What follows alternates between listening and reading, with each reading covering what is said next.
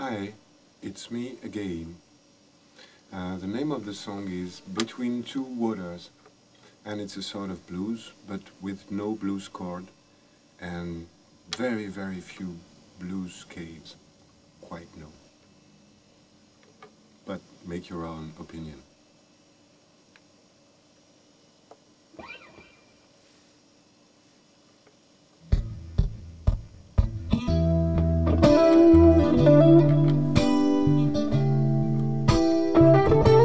Thank you.